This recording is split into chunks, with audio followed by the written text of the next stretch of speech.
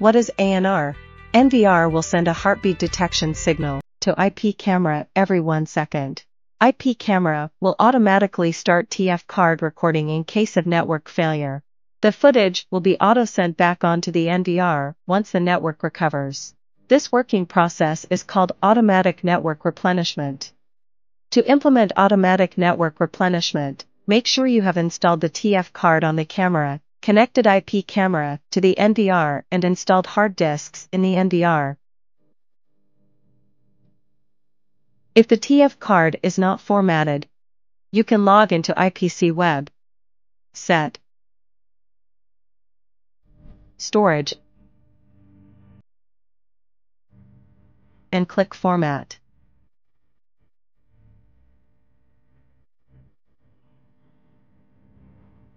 The IP camera has started recording on the NVR through hard disk management and recording schedule setup.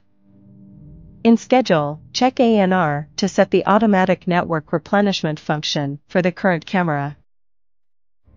With copy 2, you can enable the ANR function for other channel cameras. When the setup is complete, the lost video due to network interruption will be synchronized back to the NVR by ANR and can be played back normally as an event in the playback. ANR footage is available through backup and search event by selecting the type ANR.